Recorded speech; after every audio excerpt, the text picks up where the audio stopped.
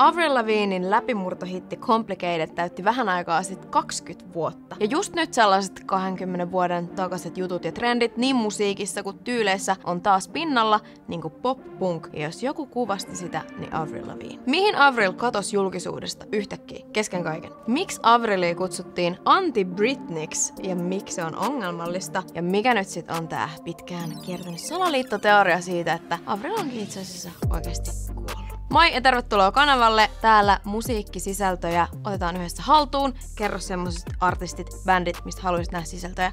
Avril itse asiassa on toivottu pitkään ja paljon aiheeksi. Olivia Rodrigo ja Billie Eilish on hyviä esimerkkejä tämän päivän maailman menestyneistä pop-artisteista, jotka on breikannut isosti tosi nuorina, mutta Avrilkin oli vasta 16, kun sai ison levydiilin ja 17, kun Complicated julkaistiin. Avril Ramona syntyi syyskuussa 84 Ontariossa, Kanadassa ja vietti suurimman osan lapsuudesta 5000 asukkaan pikkukaupungissa Näpäniissä. Vanhempien lisäksi perheeseen kuului isoveli ja pikkusisko. Vanhemmat tajusi silleen tosi aikaisin, että hei, tää lapsi osaa muuten laulaa. Kirkossa Avril laula äitin kanssa silleen kaksivuotiaana. Lapsen Avril kirjoitti runoja ja opetteli kitaran soittoa. Ja vanhemmat supporttas Avrilin musaharrastusta. Isä osti mikrofonin ja paljon kaikkia erilaisia soittimia ja jopa muutti heidän kodin kellarin studioksi. Avril alkoi kirjoittaa omia biisejä ja opetteli soittaa myös pianoa ja kitaraa. Ja siinä samassa Avrilin toinen harrastus oli muuten jääkiekko. Vuonna 1999, kun Avril oli 15, musaura alkoi aueta. Siinä vuonna tapahtui kaksi merkittävää asiaa. Avril voitti radiokilpailussa ja pääsi esiintyä 20 000 ihmiselle oman idolinsa Shania Twainin kanssa. Ja Avril bongattiin kirjakaupassa esiintymästä. Ja sitten yhtäkkiä Avrililla olikin levydiili melkein heti. Avril oli 16, kun lopetti koulut siinä saman tien ja muutti sitten Jenkkeihin edistää musauraa. Ison suosioon Avril nouski sitten jo 17-vuotiaana, kun sinkusta Complicatedista tuli hitti ympäri maailmaa, ja siitä kaikki lähti liikkeelle vauhdilla. Nyt kun on biisin 20V-juhlavuosi, Avril kommentoi, että ei olisi voinut ikinä kuvitellakaan, että mihin se biisi hänet vie. Avril on sanonut, että Complicated on uran tärkein biisi, ja onhan se nyt aika muista, että 16-vuotiaana kirjoitat biisin, sun ekan sinkun, ja sitten se päätyy radioihin ja listoille ympäri maailmaa. Complicated julkaistiin siis keväällä 2002 ja sitten sen kesän alussa tuli ulos debyyttialbumi Let Go. Toimii edelleen, onhan se kova ja nostalginen. Levyt löytyy myös äh, muit hittisinkkuja niin kuin Skater Boy ja I'm With You. Let Go on edelleen Avrilin myydyin albumi. Se on eniten myynyt kanadalaisartistin albumi 2000-luvulla ja sitä pidetään albumina, joka muutti pop-punk-skenee ja toi genre mainstreamiin myös naistekijät esiin. Nyt tämän juhlavuoden kunniaksi Avril kävi myös vähän poseeraamassa albumin kansikuvakohdassa, mikä oli aika ikoninen hetki. Avrilista tuli nopeasti pop-punkin kuningatar. Ja pop-punk nimensä mukaisesti yhdistelee punk- ja pop-elementtejä ja on periaatteessa lähtenyt jo 70-luvulta. Ramonesi itse asiassa on pidetty tämmöisenä proto-pop-punk-bändinä, mutta vasta 90-luvulla genre muotoutui sellaiseksi, minä me pop-punk tunnetaan. Blink-182 ja Green Day oli niitä bändejä, jotka löi isosti läpi ja 2000-luvulla tekijöiden määrä räjähti, kun tuli muun muassa Sum 41, Good Charlotte ja tietty Avril Lavigne. Harvana mainstreamiin nousseena naisena. Välissä pop pop-punk silleen hiivu pois valtavirrasta, mutta 2010-luvun lopulla ja nyt 2020-luvulla se on taas tullut takas. Mistä esimerkkinä vaikka Machine Gun Kelly tai Maggie Lindemann tai Avril Lavigne uudestaan. Avrilin seuraavat levyt oli myös menestyksekkäitä. 2004 Under My Skin, silleen synkempää vibaa, enemmän henkilökohtaisuutta kriitikoilta, enimmäkseen positiivisia arvioita. 2007 The Best Damn Thing, jolta löytyy megahitti Girlfriend, joka muuten teki historiaa, koska se oli eka 100 miljoonan näyttökerran koskaan kerännyt YouTube-video. No sit 2011 tuli neljäs levy Goodbye Lullaby ja 2013 Avril Lavigne. Sen levyn yksi biisi Hello Kitty ja sen musavideo herätti äh, keskustelua. Se otettiin hyvin vastaan Japanissa, mutta sitten länsimaiset kriitikot piti sitä lapsellisena ja myös ongelmallisena. Esiin nousi rasismi ja kulttuurinen omiminen, mihin Avril sillään totesi, että hän rakastaa japanilaista kulttuuria ja viettää sillä paljon aikaa ja meni Tokioon kuvaamaan videon nimenomaan japanilaisille faneille japanilaisen labelinsä ja koreografin ja ohjaajan kanssa. Pian tämän jälkeen Avril katosi julkisuudesta pitkäksi aikaa. Ja vuonna 2015 paljasti, että hänellä on borrelioosi, joka oli tullut punkin puramasta. Ja hän oli sen takia pari vuotta pitkälti sänkypotilaana.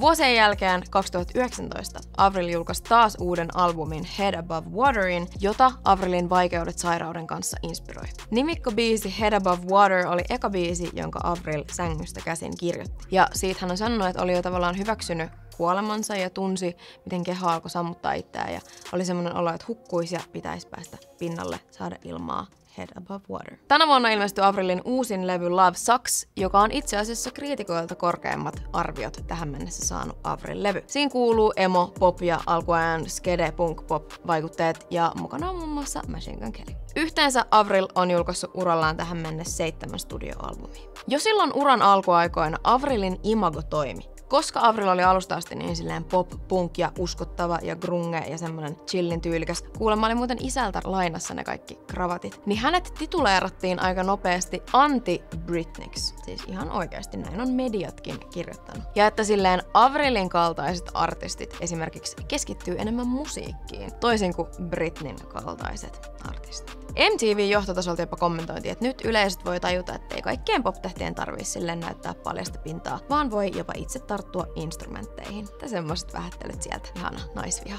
Mut joo, 2000-luku, media, paparatsit, naisviha, Britney, tämmönen ihana ihana jotenkin. Sekamelska. Avril itse protestoi itse asiassa tuota nimitystä ja oli vähän silleen, että jättäkääpä Britney itse asiassa rauhaan, vaikka toki joku girlfriend vähän silleen huutaa sisäistettyä naisvihaa. Mutta kyllä, Avril erottui 2000-luvun popmusiikissa sillä erilaisella imagollaan. Mutta, no niin, okei. Okay. Entäs sitten tämä salaliittoteoria, joka on siis ollut olemassa vuosia. Tämän teorian ajatus on se, että Avril olisikin itse asiassa kuollut vuonna 2003, tosi pian debyyttialbumin jälkeen, ja että häntä on siitä asti esittänyt kaksoisolento nimeltään Melissa, koska on olemassa kuva, jossa Avrilin kädessä on silleen tussilla kirjoitettuna Melissa, of course. Lähde tälle on tämmönen brasilialainen blogiteksti, jossa listattiin kaikki erilaisia todisteita siitä, että miten Avril on vaihdettu tähän kaksoisolentoon. Ulkonäöstä löytyy eroja, niin kuin vaikkapa nenässä. Viisien lyriikoissa muutoksia, nimmari muuttu, ai niin, ja kakkosalbumin nimi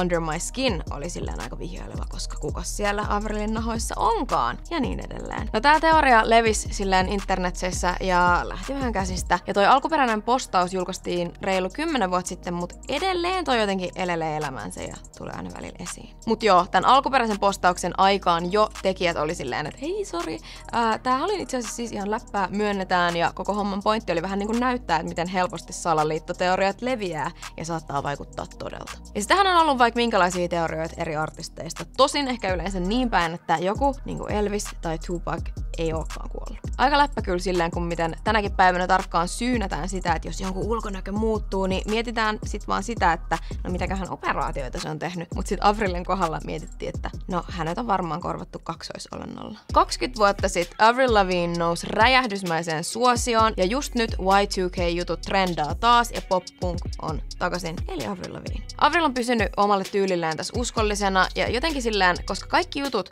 musiikit, tyylit, kaikki aina silleen vähän niinku kiertää, niin tavallaan jos sä vaan pysyt siinä sun omassa jutussa, niin jossain kohtaa se on taas se silleen, mikä on in. Ja se on ainakin toiminut Avrilin kohdalla. Avril on innoissaan tästä pop-punkin uudesta noususta ja uusista tekijöistä. Ja uskoo, että pandemia-ajalla on voinut olla vaikutusta siihen, että nyt halutaan fiilistellä tämmöistä samaan aikaan jotenkin tosi hauskaa ja sitten kuitenkin angstista musatyyliä.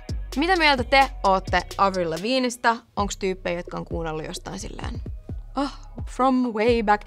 Ja ähm, mitä mieltä olette tästä salaliittoteoriasta? Onko joku, joka on sille hyvin vakuuttunut, että nope, se on itse asiassa Melissa. Niin, jos on, niin perusteluja myös sille. Kiinnostaa kuulla. Kiitos, että katsotte videon. Palataan ensi jaksossa ja kerro, että kenestä ja mistä haluat nähdä videoita. Kyllä, kiitos. Moikka!